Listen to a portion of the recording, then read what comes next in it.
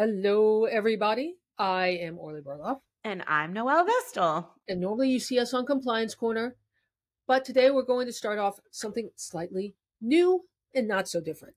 We are presenting you, while Noelle is dancing, the first in a six part video series on how to get uh, through CMMC compliance.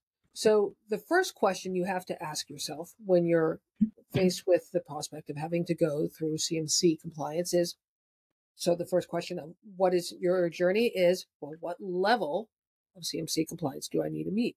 And I have the ever famous Noel Vestal here in order to help me out and help answer that question. Um, so in this video one, we're going to answer that question. Stay, uh, stick around with us and we'll get that question answered for you. All right. So Noel, the first thing here is, you know, St. Nick uh, brought uh, boys toys for little boys and girls. And he brought uh, the CMMC proposed rule for everyone out in the DIB. Isn't that so sweet? We jump in uh, to discussing, you know, determining what your CMMC le- level is or how you figure that out. Can you just give like the bumper sticker uh, explanation for what the CMMC proposed rule mm-hmm. says? Honestly, it's it's not for anybody who's been in the CMMC space for a little while, it's not going to be any sort of earth shattering information. A lot of this is just finalizing or formalizing things that have been floating around in the DIB for a while. Like, for example, um, the 180 days post POAM item that was something that was in the cap, but it wasn't actually like anywhere from the DoD. And now it's in the proposed rule. So that's a big one actually right there. That's finalizing that. It also discusses like the different numbers of, of organizations that are going to need level one and two and three. And it does have a roadmap of sort of that rollout of, you know, how long is it going to take until CMMC is going to be in contracts. Yeah, just uh, touching on that first one about POAMs, it was said originally that you'd have to meet 80% of the 110 mm-hmm. NIST controls. Yep. Um, with them being POAM, it's saying you can be hmm. assessed and pass an assessment without having met all 110. You have to meet 80%. But yep. it is saying that within 180 days, that's roughly six months uh, to people out in TV land, uh, within 180 days, you have to close all those POAMs. Yep.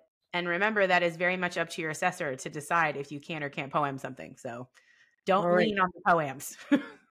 all right. Uh, so you know, we kind of uh, gave a little bit of that over brief overview, but let's answer, get started in answering the question here. How do people know what level they need to meet? Yeah, it's a great question. So the quickest and easiest, well, you know, easiest way is to look in your contract. Um, usually towards the end of your contract, like there's a whole bunch of different clauses that you have to look at, and 7012 is the one that you're that you're looking for most likely. If you don't have a 7012, um, then most likely what you're going to be responsible for is level one. So CMMC level one is a subset and it's like 15 controls specifically.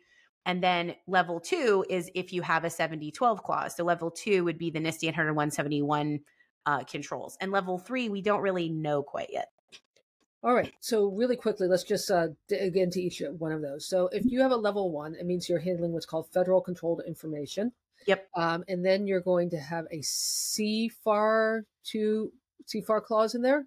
It's a FAR clause. Yeah, FAR clause, I, I know. there's there's you know there's just too many there's too many acronyms. Um, It's uh, 52.204-21 for anybody who needs to know it, but the title of it is Basic Safeguarding of Contract Information Systems, and inside of that is the 15 specific items that you need to address. And it's it's pretty basic stuff. I mean, most of it people are doing already. There are a few things probably that people aren't doing that they need to make sure they take care of. And then at that level, you're just self assessing. You know, nobody's going to come knocking on your door. You will have to, you will likely have a 7019 requirement where you have to put something into SPRS just to say that you've done it. But that's about it. It's it's pretty easy at level one. All right, and if you have a level two, you do the control F, so you can find stuff. And what are you going to be looking for? oh, that yeah, level two, of course, goes from 15 controls to 110. So you you jump real fast between level one and level two. So level two is the NIST 800 171 controls. That is another thing that was specified in the proposed rule is that at least for the time being, we're we're focusing on Rev two, revision two of NIST 800 171 because there's been some question about that. So you have to do the 110 NIST 800 171 revision two controls, and you have to make sure that you are also adhering to paragraphs C through G in DFAR 7012, which are dealing with security incident reporting. And that is a really important one because you also have to make sure that any external service provider that you're using in support of that contract like especially in support of like CUI processing, transmitting, or storing, they also have to be 100% compliant with the DFAR 7012 C through G incident reporting, meaning that they will work with you and the government if an incident happens that they're involved in. Right. So, in addition to having a 7012 clause, you will, if you have to meet level two, you'll also have a 7019 clause, which uh, says you have to um, create a system security plan and submit it to SPRS.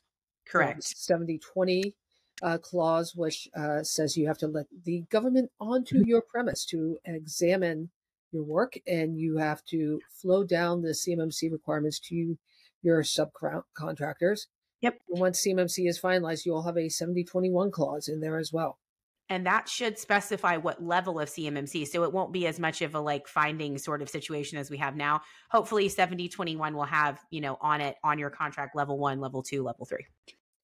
Okay. So which begs the question, if you have a level three, you'll uh you'll probably be told by your contractor, hey, oh, yeah. buddy, yeah, definitely. There, there are very few of them at this point, and your contracting officer would definitely tell you that. Okay.